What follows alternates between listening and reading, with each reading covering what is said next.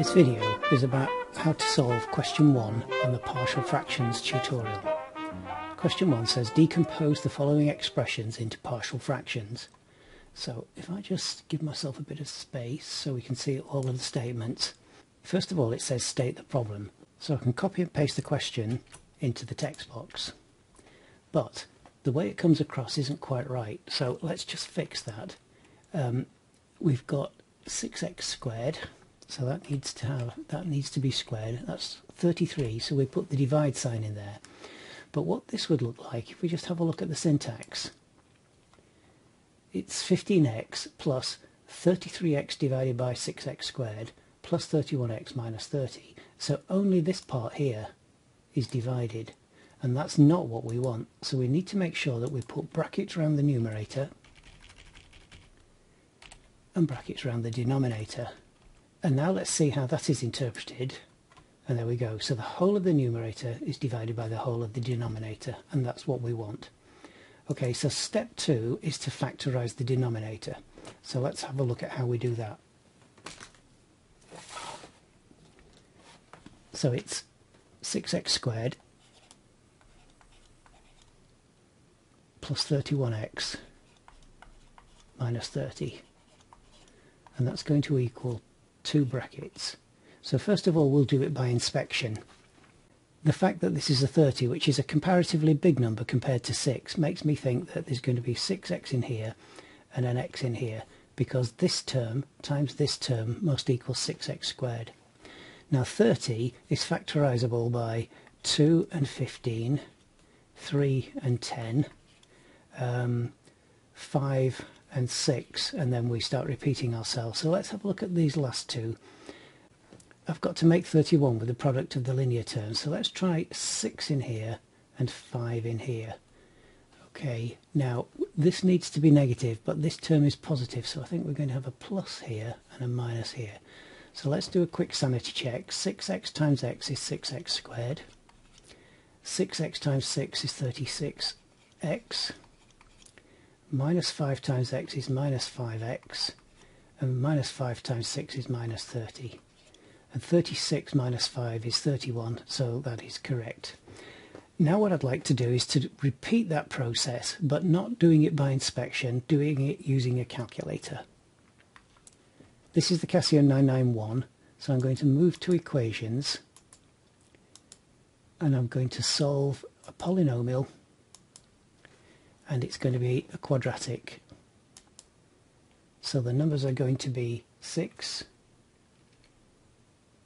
31 and minus 30. Click XE again and there's our first root. So x1 is equal to 5 over 6 and x2 is equal to minus 6. Now these are the roots of the equation.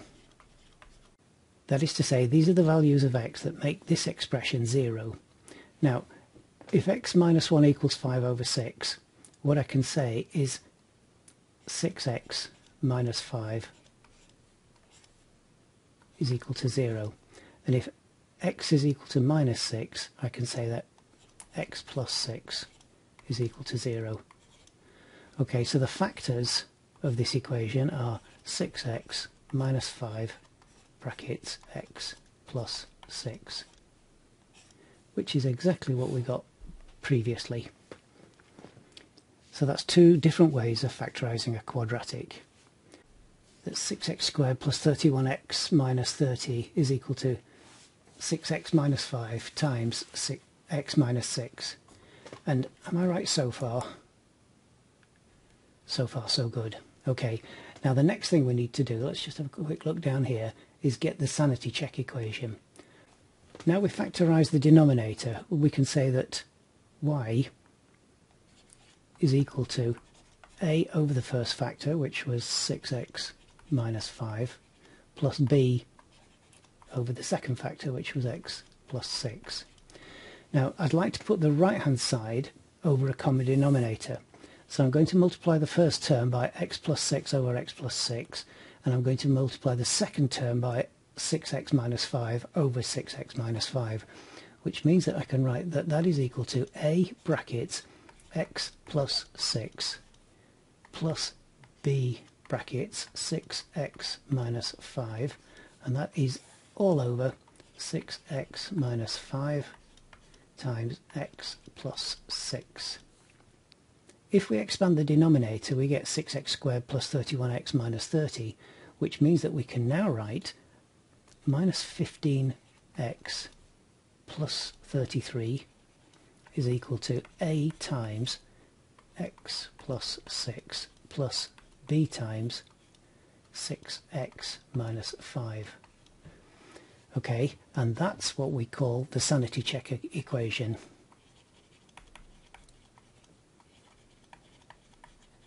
Because that is the simplest way of checking whether your values for A and B are correct. So now we can write the sanity check equation.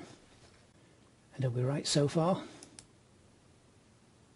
So far so good. Right, the next thing we need is the first simultaneous equation. So what I'm going to do here is I'm going to compare coefficients. So I'm going to first of all take all of the things that have an x in them. So I'll start with the right hand side. So we've got a times x, so we'll have an a. And we've got b times 6x, so that's going to be plus 6b. And that is going to equal, and on the left hand side the only thing with an x in is minus 15, so that's going to be minus 15. And now I'm going to take everything that has no x's in it. So we've got a times 6, so that's 6a. And we've got b times minus 5, so that's minus 5b. And that is equal to 33. And am I right so far? So far so good. Right, how you solve these equations is up to you. But let me show you how to do it using the calculator. So we're going to select equation, simultaneous equations in two unknowns because we've got A and B. Okay, so the values are 1, 6, minus 15 and 6 minus 5, 33. Press X again. The first value is x equals 3, so in our case that means A equals 3. So we'll say A is equal to 3, and then if we press the down arrow we can get the second value they call it y we call it b so b is equal to minus 3 and are we right so far? Yes we are. Good. Okay so that's given us values of a and b. Now we need to insert them into this equation to make sure that our values are correct. So we're going to do a which is 3 outside um, x plus 6, so x plus 6. So it's minus 3 bracket um, 6x minus 5, so 6x minus 5. Now let's expand those. We've got 3 times x, we've got 3 times x, which is 3x. We've got minus 3 times 6x, which is minus 18x. Minus 18 plus 3 is going to give us minus 15x. And then we've got 3 times 6, which is 18, we've got minus 3 times minus 5 which is plus 15 18 plus 15 15 plus 15 is 33 so that's going to be 33 so plus 33 okay minus 15x plus 33 minus 15x plus 33 so we can be confident our values are right. So that's the sanity check equation. So finally now we can write the solution to this which is y is equal to a which is 3 divided by, um, let's copy it from here, in fact let's take all of that, put that in there, and then b is minus 3 isn't it, so it's going to be minus 3 over x plus 6, and that's our final answer, am I right?